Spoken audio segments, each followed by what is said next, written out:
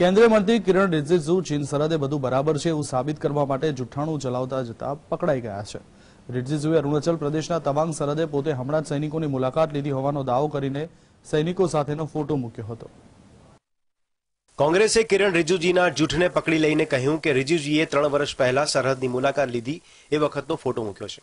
કોંગ્રેસના પ્રવક્તા બીવી શ્રીનિવાસને બંને ફોટો મૂકીને લખ્યું હતું કે બે હજાર ઓગણીસના આ ફોટાનો ઉપયોગ કરીને બે હજાર બાવીસમાં સરહદે બધું બરાબર હોવાનો વિશ્વાસ અપાવવાનો પ્રયત્ન કર્યો છે. કોંગ્રેસે રિજુજીની હરકતને દેશ સાથે છેતરપિંડી ગણાવી છે.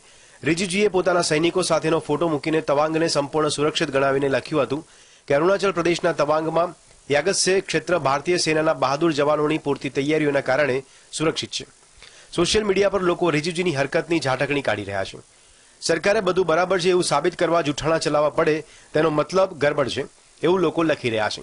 કેટલાકે તો જૂઠાણા બદલ રિજિજુને તગડવાની માંગ કરી છે. Bureau report.